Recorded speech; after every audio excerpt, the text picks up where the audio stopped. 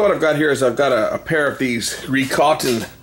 These are um, a wireless headphone. So this is the 900 megahertz transmitter. It transmits your audio source to this receiver that you can carry around with you and just use it with a regular pair of headphones. And it appears that the receiver has a problem because I'm not getting any sound. I've got the headphones plugged in, but as you can hear, there's no sound from them. Now,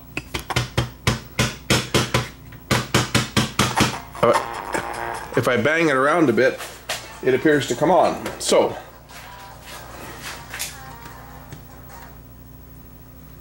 we have a problem in this receiver.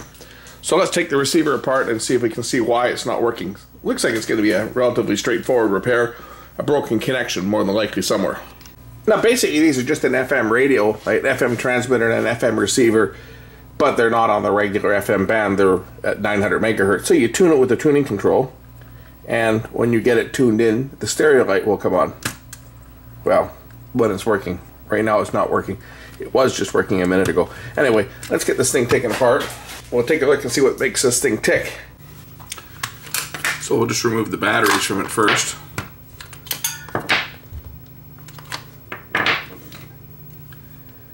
And these units here, should have a couple of screws to hold it together. Maybe one little screw down here.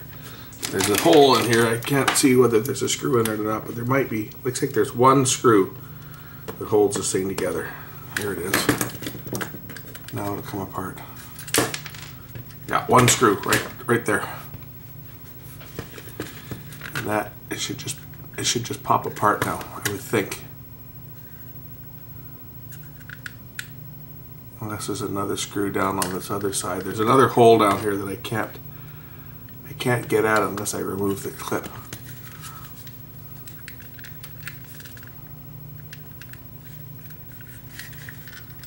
I bet you there's one more screw down here.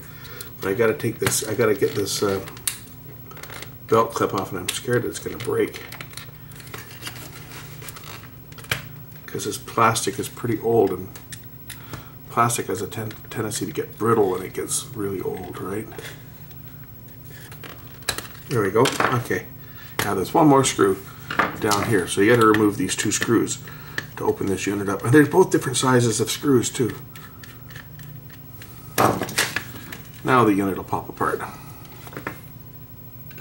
As you can see, it's got a metal screw that goes in through here. And here's the antennas for this thing. Or is that, no, that's the battery wires. What the heck? The battery wires are broken off. Well, that would explain why it's not working. How simple. This is the antenna, but here's your positive and negative battery wire. And they soldered down here, and they just, they've just come right off. Well, this is going to be a, a, more simple repair than I had thought. We'll just uh, lift the receiver out, reattach the two wires to the battery terminals, and that'll fix this thing. I was expecting it to be a simple fix, but I wasn't. I wasn't expecting it to be that simple a fix.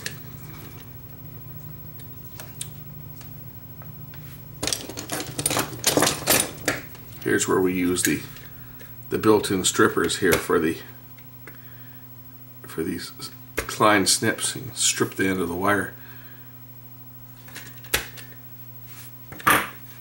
For the iron to warm up here a bit and uh, we'll reattach the battery terminals. That should fix this thing. Be the fastest repair I've had all in, in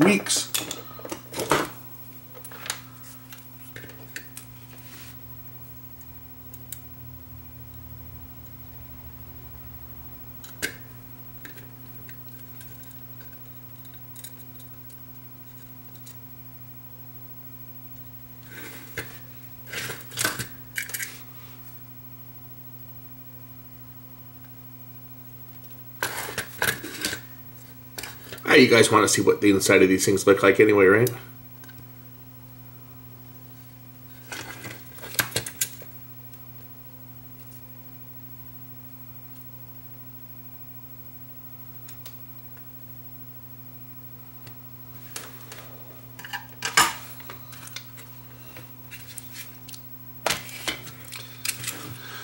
So basically, you have a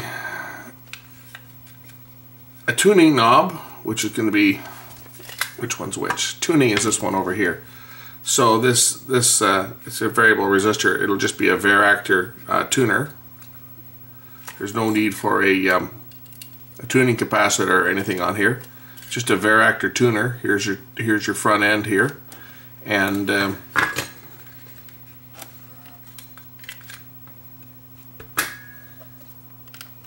start the music again. Tape ran out. Um, just a Varactor tuner, and here's the little antenna and an amplifier. It's all single chip. Okay, let's put the uh, batteries in so that I can test it. There. Super Source batteries.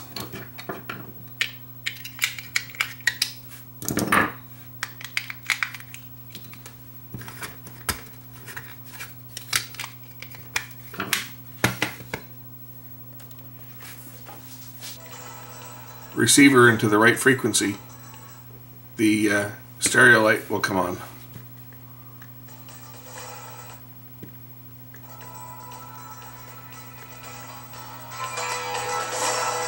And if I have this thing over modulating, it'll probably uh, distort, yeah. So on the transmitter side of things over here, on the transmitter side, you've got a level control on the back, and you adjust it so that the light is not lit up. Because if it's lit up, it's going to drive, the, the overdrive the transmitter and you won't get stereo sound. So you adjust it so that the light doesn't, just before the light starts to flash. Uh, and that indicates you're overmodulated. So you turn it down just to the point where the light's not flashing.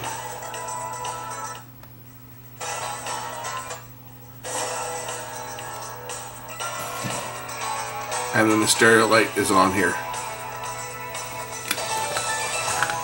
Might as well just check this thing out while I've got it apart. Just to see whether there's anything else that's likely to uh, fail on it.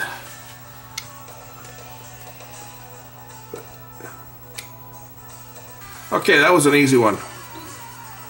Why can't they all be easy like that? We'll just throw this thing back together and send it on its way. This is also client owned. I say I get I get a lot of these things in. Um, I have customers that have known me for years that I used to be the guy that you know, fixed all their stuff. So uh, I still get people that bring me stuff that you would normally just toss in the garbage, right? But I guess you you can't buy these things anymore. Now everything's all gone to um, you know everything you buy now is all Bluetooth headphones and and uh, designed to work with your smartphone. But when you get people that have got their old legacy equipment that they want to use. Bluetooth speakers and and uh, Bluetooth headphones and stuff. Well, they don't do someone who's got a CD player any good. It might be fine if you got a smartphone, but you know, uh, I live in a, a, community with a lot of seniors, and well, the seniors are resistant to uh, technology changes. So there we go. It's fixed. That was easy. And it sounds good. You guys might want to see what the inside of the transmitter looks like. So just for just for the video, we'll we'll pull the transmitter apart and take a look at what's inside here.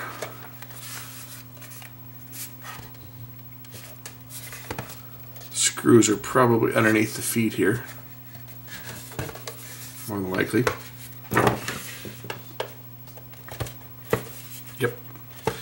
Course they are.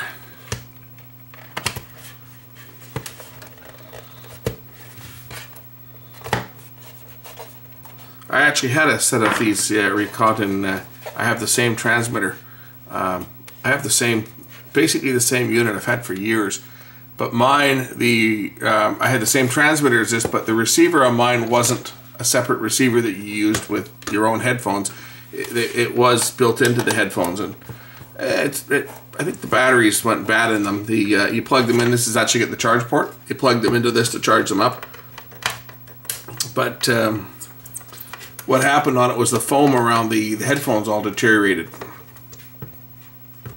But they were a good product. I They were the first RF uh, headphones that I bought, and I used them for years, and they were great. Of course, I I now have Bluetooth, so don't have much use for them. I got a, my TV's got Bluetooth in it as well. Okay, here's the transmitter. Let's see if we can pop the board down and take a look at the business side of this. That's the antenna. We'll just loosen that cable off there a bit.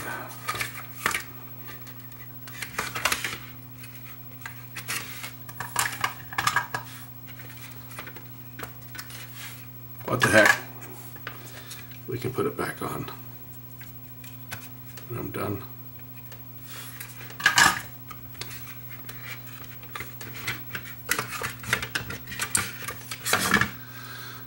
So here's the transmitter. So your audio goes in, it's just using a standard, um, was it VA 1404, that's just a standard uh, FM uh, modulator. Well, this will be the amplifier over here. Right, this is the amplifier. And, um, and the modulator here. The antenna connects to it right there for the output. So that is going to, looks like that pin there. Anyway, that's the transmitter. Not much to it. It's basically a single chip solution. Um, and uh, that's about it. I figured I'd show you this. Now we'll put it back together reconnect it and test it and send it on its way.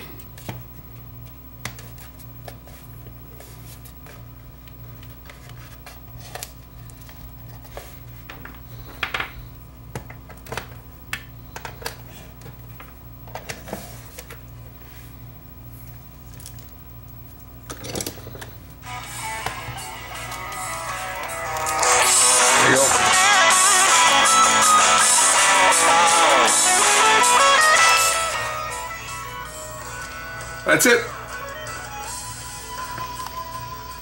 We'll catch you in the next one. A little bit loud, aren't I? Catch you in the next video. Bye for now.